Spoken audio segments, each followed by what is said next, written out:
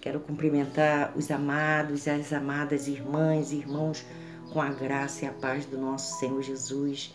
Hoje eu venho trazer uma palavra de fé e esperança para o nosso coração. Mas antes de eu começar, eu quero agradecer a cada um que vem assistindo meus vídeos, meus testemunhos, louvores e quero convidar você que ainda não faz parte deste canal que venha a se inscrever, venha ouvir meus testemunhos, compartilha com quem Deus tocar no seu coração, pois o intuito deste canal desde o começo e sempre será para levar a palavra do nosso Deus, a contar meus testemunhos, para edificar a fé de cada um daqueles que se encontram com a fé abatida, caída, em nome de Jesus. Hoje eu venho compartilhar uma palavra maravilhosa que se encontra em Jó 14, verso 7, onde diz: onde diz: Porque há esperança para a árvore que, se for cortada, ainda se renovará, e não cessarão seus renovos. Se envelhecer na terra a sua raiz e morrer, ao seu tronco no pó, ao cheiro das águas, brotará e dará ramos como planta. Olha que palavra maravilhosa. Se há esperança para uma árvore cortada, imagina para nós. Eu quero falar com você que ouviu vozes negativas, palavras contrárias para a sua vida. Não guarde no coração. Você que ouviu falar: seu esposo não tem mais jeito, sua esposa não tem mais jeito, seus filhos estão perdidos, não tem mais jeito. Não ouça, ouça sempre a voz do nosso Senhor, ouça a palavra de Deus, pois a última palavra sempre será dele, não do que a gente ouve aqui no mundo.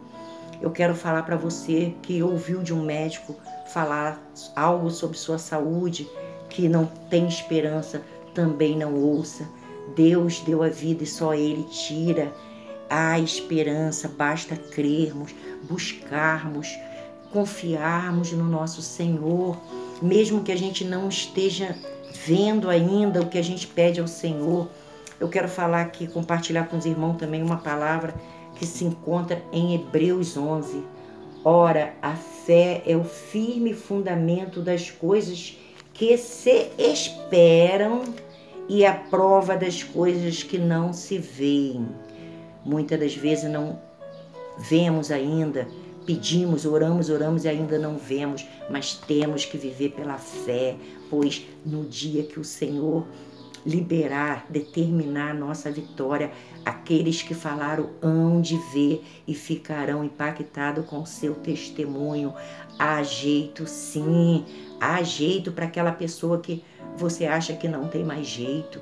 Deus, ele tira do pó, ele faz renascer das cinzas e há jeito sim se seu filho se encontra perdido, se sua filha se encontra perdido, se seu esposo se encontra perdido na bebedeira ou vice-versa, há poder sim. E a você também que deixou seus sonhos pelos caminhos, que não tem mais força para lutar por seus sonhos que você venha, que o, teu, que o Espírito Santo venha falar ao teu coração. Ouça a voz do nosso Deus e receba em nome de Jesus esta simples oração, simples sim, mas com muita fé.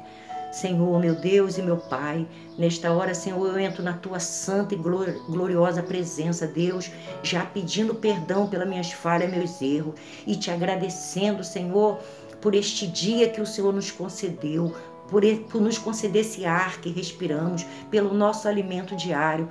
Pai, eu quero, Pai, orar por esta pessoa, Senhor, que se encontra caído na fé, essa pessoa que ouviu palavras contrárias, pessoas usadas até pelo inimigo para vir lançar uma palavra uma palavra de derrota. Deus, Espírito Santo, só o Senhor pode, Pai, transformar este coração. Só o Senhor pode trazer à memória a esperança que há em ti, pois tu és o Deus onisciente, onipresente, onipotente. Tu és o Deus que pode todas as coisas.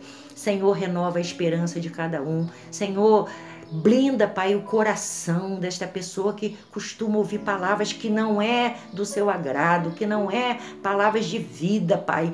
Muitas das vezes só ouve palavra de derrota. Ah, você não vai vencer. Ah, você não vai conseguir. Ah, seu filho não tem mais jeito. Sua filha não tem mais jeito. Senhor, mostra, Pai. Mostra, faz o teu milagre, faz o teu agir nesta vida. Senhor, que esta pessoa venha perseverar em oração, que essa pessoa não venha desanimar, que essa pessoa venha buscar mais e mais de ti, para que todos que falem, que venha, venha falando essas coisas, Senhor, que não venha, ela não venha ouvir, não venha dar ouvidos, que ela venha viver pela fé, pela fé ainda do que não viu, mas vai ver, em nome de Jesus. Espírito Santo trabalha nesta vida. Senhor, se alguém ouviu uma, uma palavra de um médico negativa, ah, esse seu caso não tem jeito. Senhor, tu és o médico do, dos médicos, tu és o juiz dos juízes, tu és o nosso advogado, tu és o advogado dos advogados. Senhor, entra nesta peleja, entra nesta causa, seja qual for a causa, Senhor,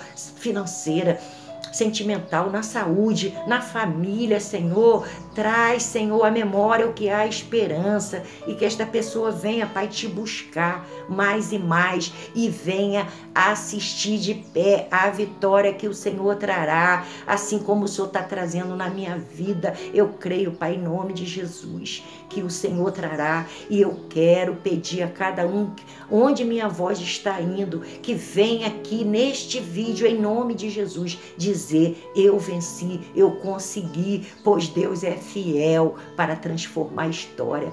Pai, eu te peço tudo isso que eu estou te pedindo nesta hora, Pai. E desde já eu já te agradeço em nome do Pai, em nome do Filho, em nome do Espírito Santo. Amém, Senhor. Recebe esta oração para honra e glória do nosso Deus e blinda seus ouvidos. Ouça a voz do Espírito Santo que e a palavra do Senhor, pois essa sim é a que traz vida e traz vida com abundância. E fique sempre, fique com esta frase grave: você vai vencer em nome de Jesus, pois nosso Deus é poderoso e é ele guerreia por cada um de nós, ele é poderoso nas batalhas e nos faz mais que vencedor para a honra e para a glória dele. Fiquem todos na santa paz, que venham ter uma semana abençoada debaixo da proteção das mãos potente e poderosa do nosso Deus, que é poderoso. Beijo em cada coração. Deus abençoe cada vida. Em nome de Jesus. Amém.